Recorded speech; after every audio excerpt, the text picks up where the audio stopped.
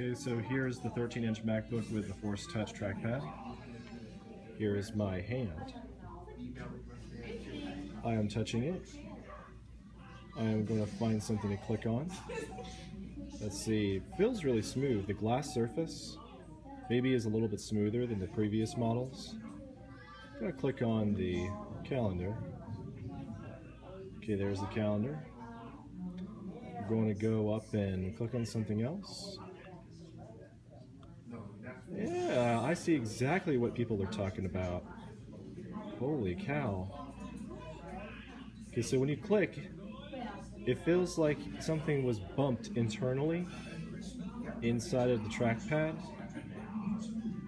And it, it's hard to say that it has a definitive click like the last generation. I wouldn't say this is clicky like that. It's more subtle but it's definitely causing a physical motion. It's very faint, it's very responsive. It happens right when you want it to happen.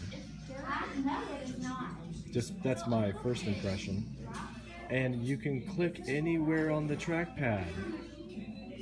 That is where it shines. Tapping works too. So I just tapped those last two times and you can click anywhere. This feels great. So I tapped again. Tapping works just the way I, have always known it to be.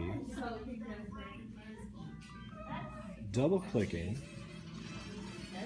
Double clicking feels a little bit weaker, but that just might be incidental, not actually true. It feels good with the thumb, it feels good with the pinky, feels good with the middle finger, with the ring finger. It also makes a unique sound.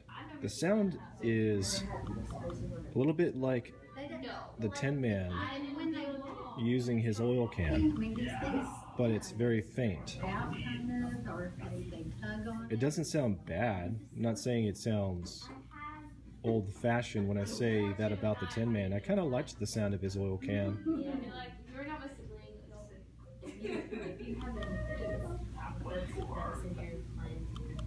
It's a very subtle clicky sound. It's not like something out of iOS that I've heard before, but it sounds like something I would expect from iOS.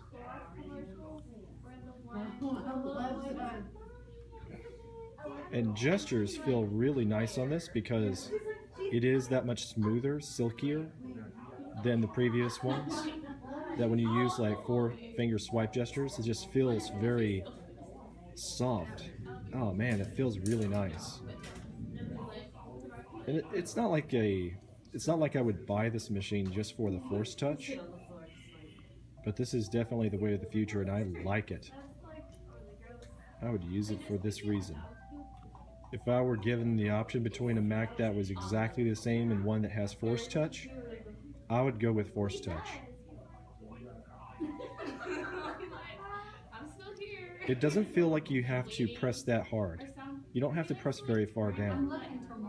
It's very responsive. It knows what you want to do when you start to give it the extra pressure.